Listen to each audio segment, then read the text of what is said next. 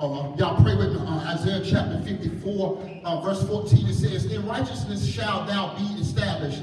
Thou shalt be far from oppression, for thou shalt not fear and, and from, from terror, for it shall not come near thee. Behold, they shall gather, they, they, they shall surely gather together, but not by me. Whosoever, say whosoever, whosoever. Uh-huh, shall gather uh, together against thee shall fall for thy sake. Behold, I have created the smith that bloweth the coals in the fire, and, and, uh, uh, and that bringeth forth an instrument for his work. I have created the waster to destroy. And this is what y'all like, verse 17, and you may rest, you may take a seat. He says, No weapon that is formed against thee shall prosper, and every tongue that rises against thee in judgment thou shalt condemn. This is the heritage of the servants of the Lord, and the righteousness is of me, said the Lord. Spirit of the living God, whatever you're going to do in this place, God, do it, God. Saturate us tonight.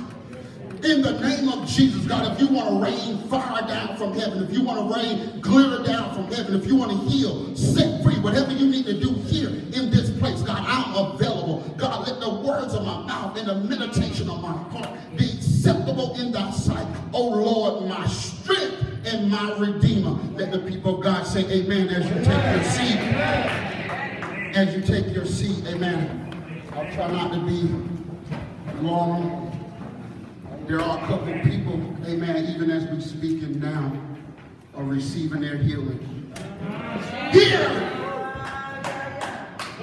in this text, if you notice verse 14, what does that say? It says, he says this, in righteousness. And, and if I had, y'all, those y'all that know me, y'all know I don't like to, to give subjects and titles to message because I personally believe that it puts God in a box. But just for the sake of us remembering, and me myself, uh, because oftentimes I have to go back and say, babe, I need to watch what happened because I don't even know what happened. But for the sake of us remembering, I want to pin this title here. Uh, change your appetite. Change your appetite. And see, right there, I think I, I, I lost about half of the room. Because somebody actually thought, Brother Kevin, that I was talking about food.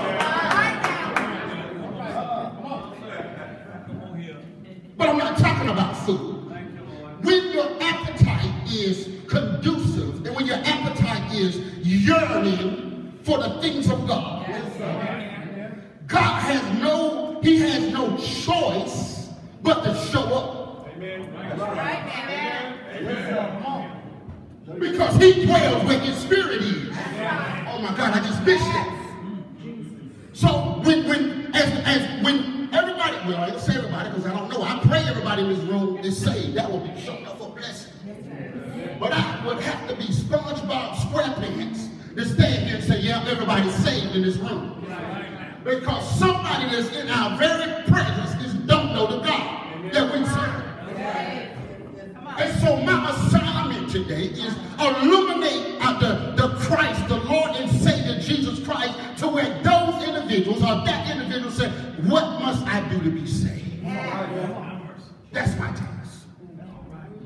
He says, in righteousness.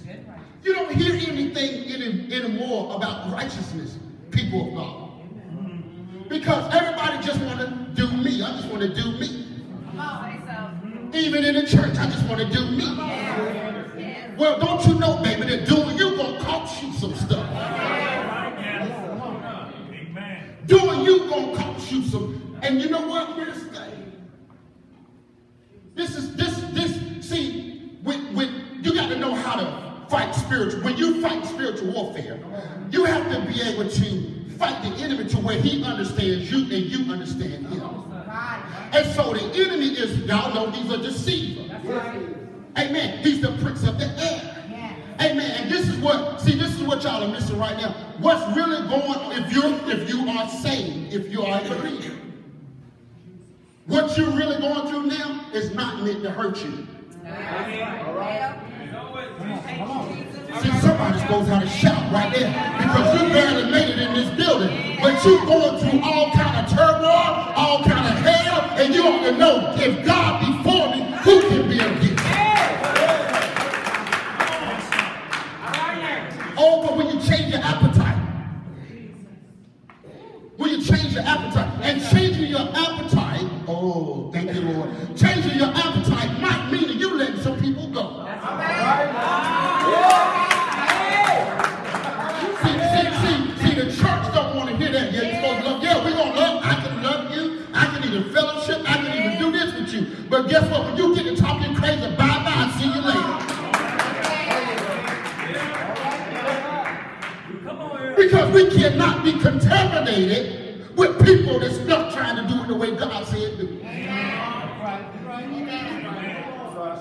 And one thing, one of the ways that the enemy fights us, and he often wins, if, if you lose money, you can get money back. That's right. Can I walk across a little bit? Go ahead. Oh, thank you. If you if you lose a house, you can even get a house back. Uh, you lose a spouse, you can even maybe get married later on in life if you so choose. But the one thing none of us can get back is time. Oh! So the enemy is so slick now. What he's doing, he's putting all this stuff right here, thinking you got more time. And you might walk right out of this house and drop dead. I'm waiting to get myself together. But somebody tell me how does that work because it didn't work for me. I was messed up and had to crawl to God. I said, Lord, I need you.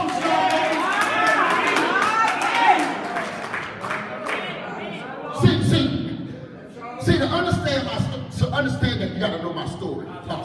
When I came into church, I was so messed up that when the brothers hugged me, I would push them off.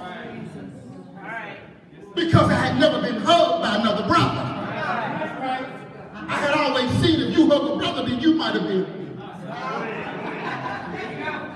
But there is what we call that agape love. But I can love you. I can love you because I want to see you, amen, in purpose. I want to see you, amen, be all that God can have you to be. Somebody say the agape love. So as we, cha- as God allow us to change our appetite, see that we, the believers are missing that. You know how you know how I know missing it? Because let uh, brother so and so get up there and exalt better than sister so and so. Somebody looking cross facing. Yeah, I said cross facing, not cross eyed, cross facing, because your whole face twisted. Well, you should be celebrating that brother and sister because we all on the same battlefield.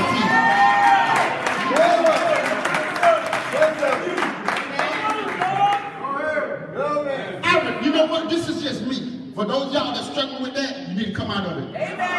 I refuse to say, I mean, I am in Christ. One of my brothers or sisters doing well in whatever capacity and look cross-faced. I can be your biggest cheerleader right here on the sideline. Go ahead on, brother. Go do it. Do your thing. And that's what the church is missing. When you are able to celebrate your brother and your sister as if it was you, God will look down for all, and now you got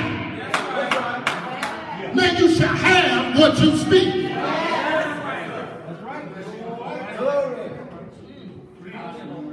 Come on, somebody.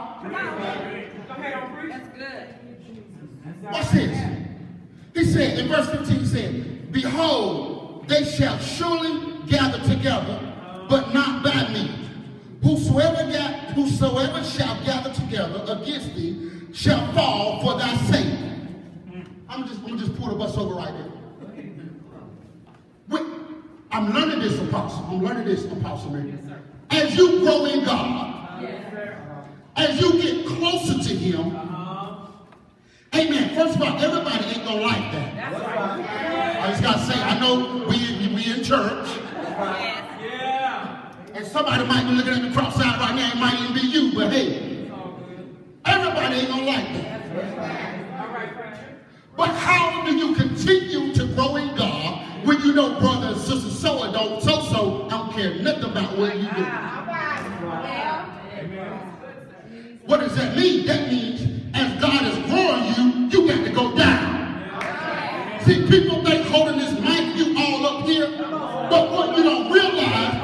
to go down. Am I right, Mother Silver?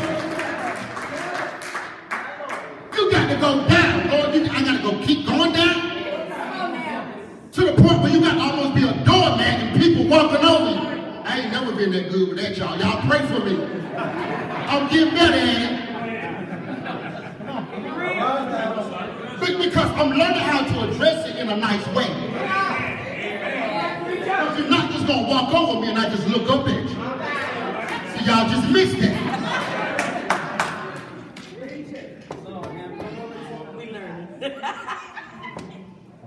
See, see, when God brought me out, people of God, He brought me out.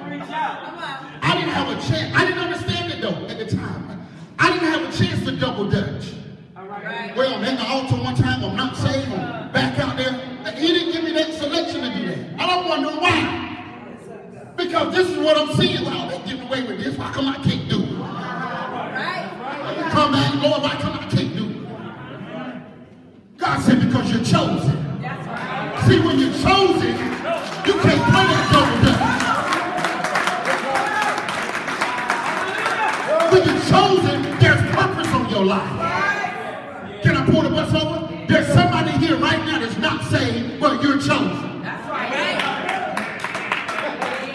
And you don't even understand it right now. But I pray by the end of this service, amen, that God touch your heart. You say, you know what, Lord, what must I do to be saved?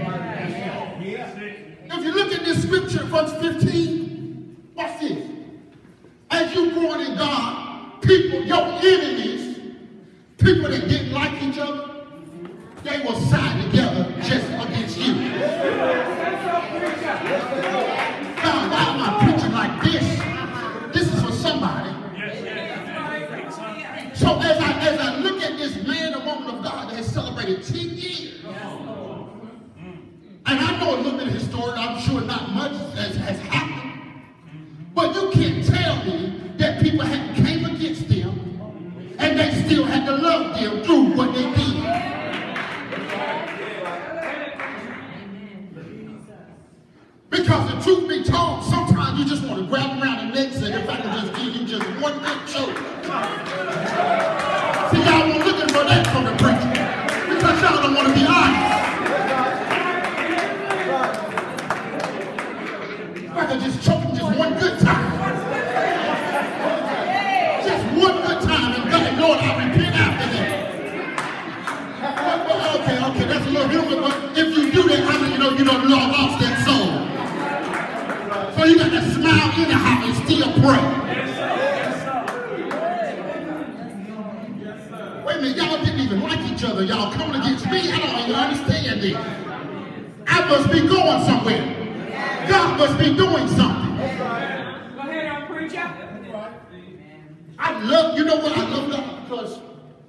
somebody asked me the other day, they said, when, when do you find, when do you find time to write books?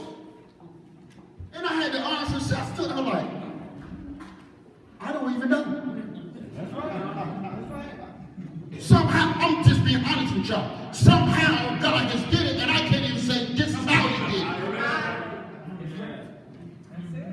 But when you give glory to God, see, some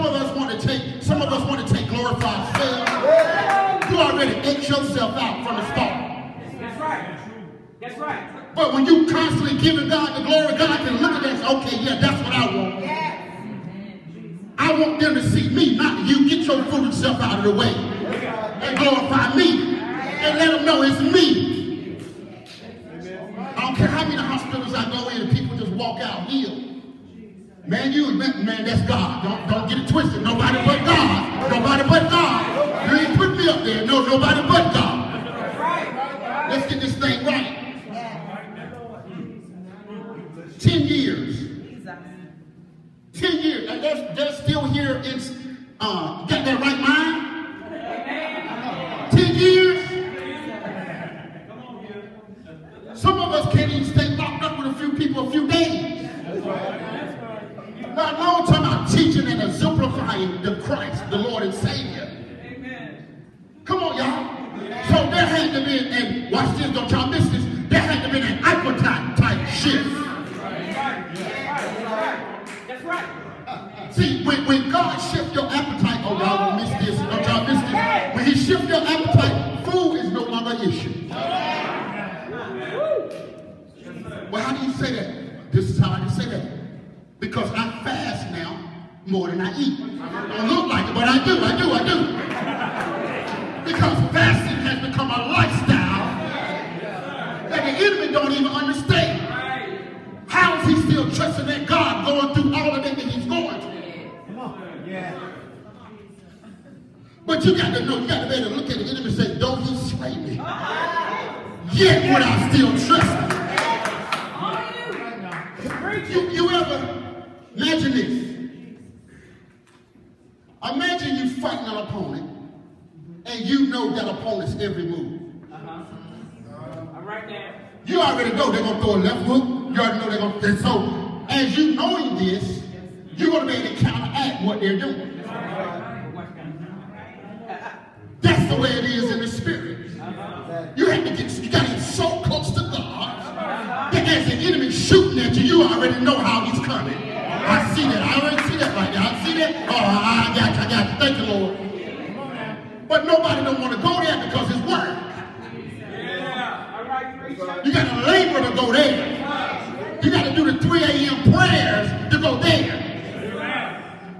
Amen. And most importantly, it can't be about you. Wow. Wow. Wow. Amen. Somebody's getting the appetite shift right now. Watch this. We almost there. To take us. Uh, verse 16 says, Behold, I have created the smith that blows the coals in, uh, in the fire, and that bringeth forth an instrument for his, his work. And I have created the waster to destroy. What is he saying? Don't y'all miss this. God even created the enemy. That's right. See, you worried about the enemy, and you are in God, and God created him.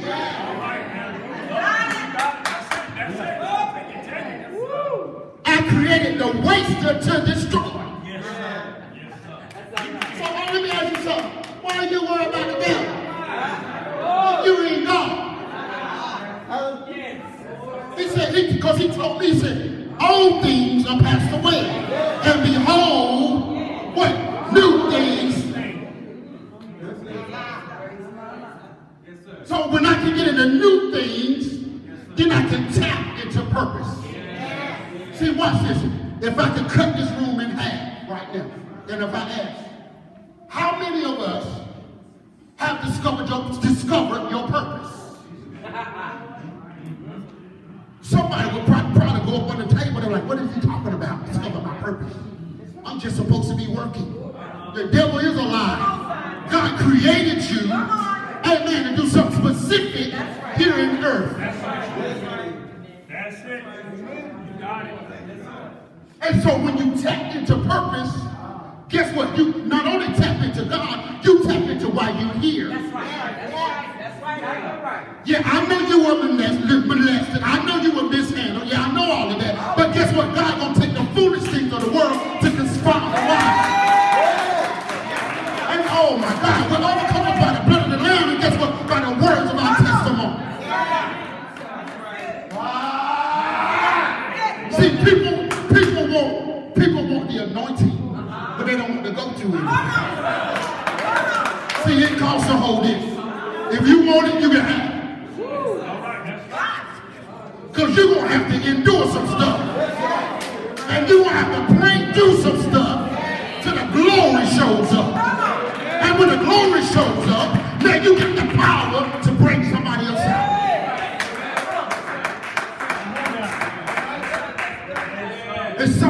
glory, church. It's something about the glory. Amen. Amen. He said, when they all was in one place on one accord, you don't even understand if we can all come on one accord, accord even in this room. Amen. People, amen, in Rocky Mount, amen, would just come on through. Who wants the glory? Who wants the appetite change?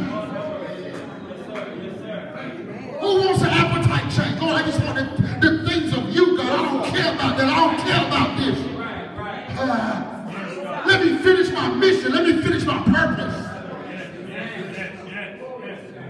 It's an appetite change. Yes, it is. Watch this. I almost asked y'all, did y'all have any questions? Watch this, watch this. This, this we almost there. Look at verse 17, Apostle. This is for you and, and Lady T. Because you've even spoke this in my life a few times. And I thank God for you. Amen. See, y'all look at him. Somebody might say, he ain't no apostle. I know what this. Listen, those of y'all that really know me, you know I just don't join with everybody. I, I have, I, I just don't do that. I just don't do that. So if I'm connected to you, I'm connected to you for a reason. That's right. But I know this man and woman of God know what they're walking in. About a year ago, y'all remember the lights, we had that big storm in Raleigh. I was all over, really. And our lights was out. My wife had to work. So that left me in a cold house, no heat, and she gone.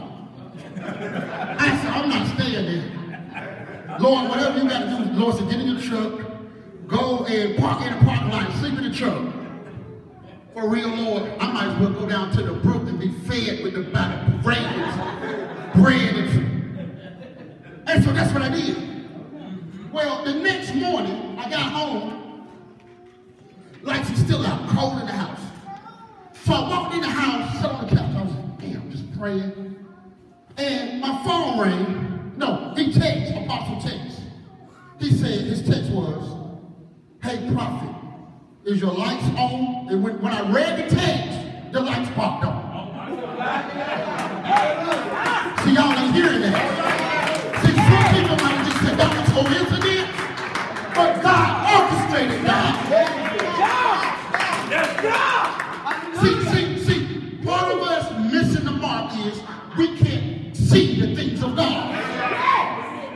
When you're able to identify the things of God, you're like, okay, God, I see you. I got you.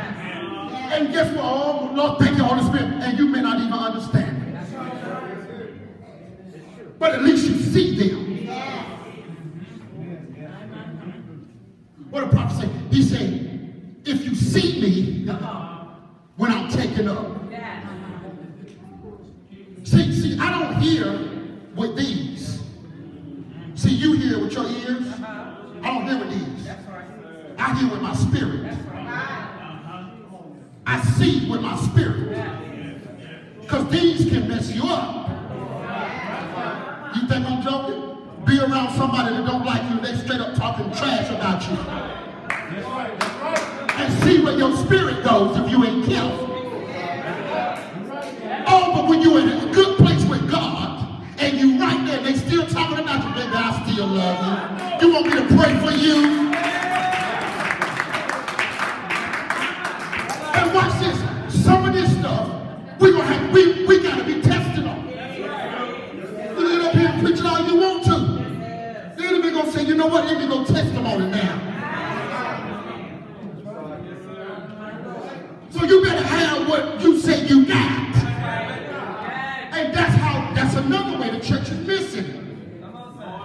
Want the mic, you want to sing, you want the praise, to be on the praise team, but soon as the enemy comes, you can't even pray a headache off you.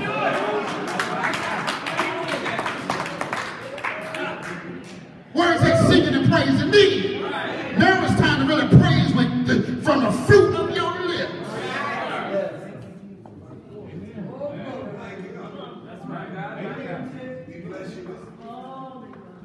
My wife will tell you, she, she won't lie. If I'd been cutting it up, no, I'm not introducing him. Y'all do something's wrong. No, we'll get somebody else here. She ain't that one apostle. So she keep me walking on straight and narrow. She ain't that one. Now, granted now, we do have our heated fellowships. I know y'all don't have them. I know that. Y'all don't have them. After 30 years, we still have our heated fellowship. Amen. But I love God because we're always able to get through them, y'all. Watch this. This is what y'all like. We get in there, and then the glory gonna hit this place. And we're gonna eat in a minute. Watch this. Look at this. He says, now this is for everybody. When we open this up, after young minister Jamal did his praise dance, the spirit was just like, y'all remember that? It was like a wave of the Holy Spirit just breathed on us. But this is what I told a brother this. His his fiance had cancer. And he was telling me, not saying, won't say, he said, I was witnessing to him, trying to get, encourage him that look, you need to give your life to Christ, but God can heal her. And so he, back, he started reciting it back to me. Like, oh, okay, maybe he got it. But I got in his face, and this is what I said. I said, I dare you to believe that. When you put demand on, your belief system, see, the enemy don't want you to believe what you're speaking. So you got to be able to put a demand on your belief system. And when you put a demand on your belief system, God goes to work. So why did he say this? I said that because of this. Watch this. When you can believe this. When you can believe this. Verse 17. He says this. No weapon. See, some of y'all are facing some physical obstacles right now. Right now. Even as, as we, but I guarantee you, if you believe that no weapon, No weapon. no weapon that is formed. Now, it's, it's got to be formed because it's a weapon. So it's going to be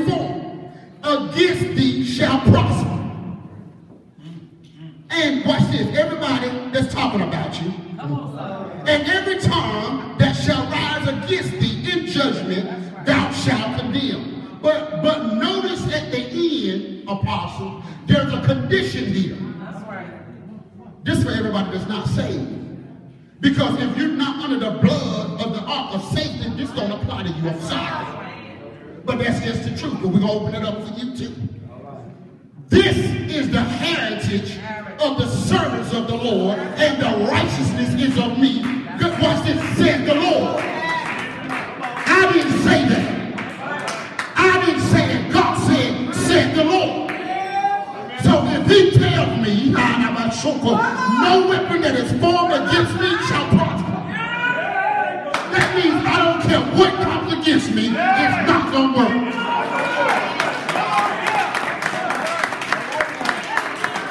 I don't care how it's made, I don't care how it's shot, what form it's getting, it's coming in, it's not going to work.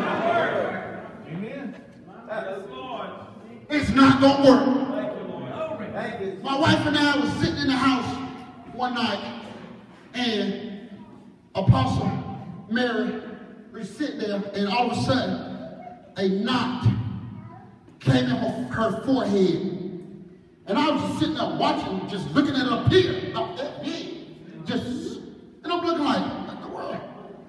And I said, that's an attack of the enemy. I said, baby, I said, what's going on with your forehead? So she puts her hand in and it scared her. Because by that time it got that big. I said, devil, you a lie.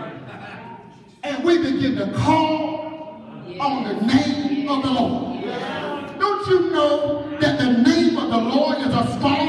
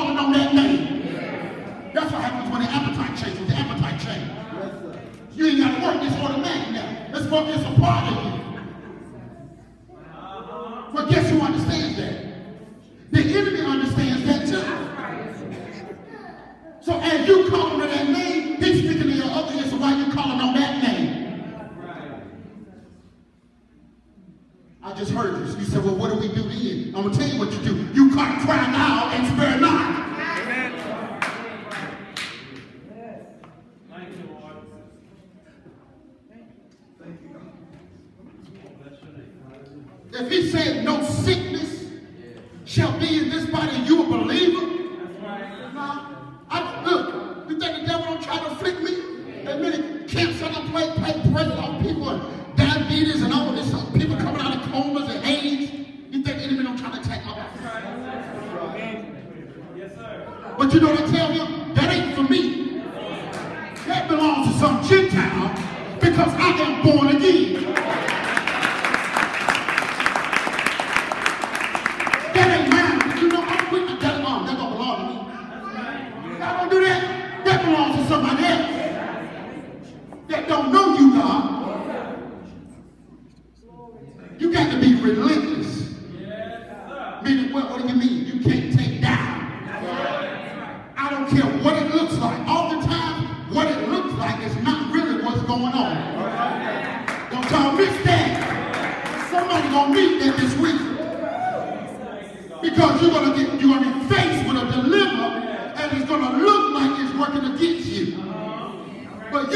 to know that what's going on.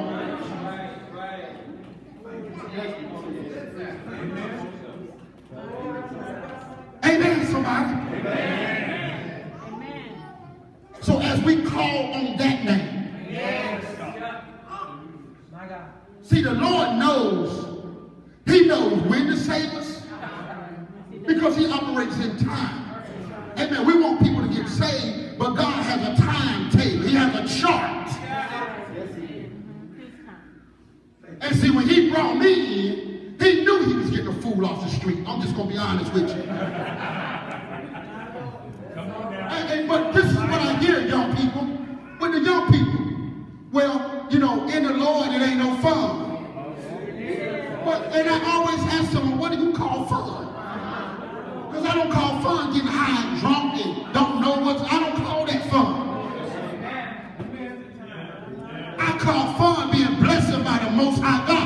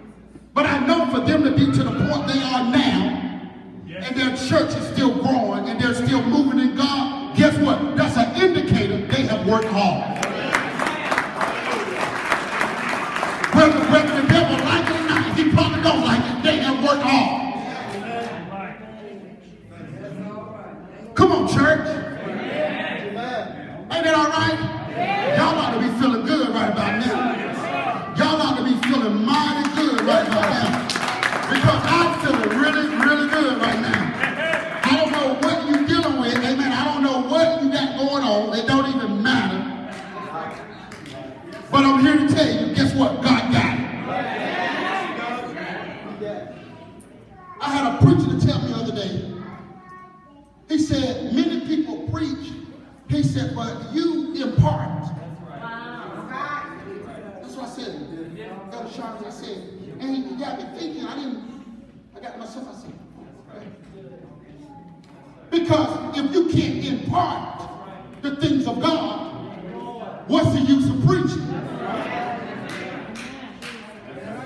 If we all can't come away from this gathering, not full with our bellies, but in another spiritual place with God, oh, to where when the enemy comes, you will recognize him, and you'll be able to call those things that be not as though they. So as you rest on your feet real quick, amen, I'm about done.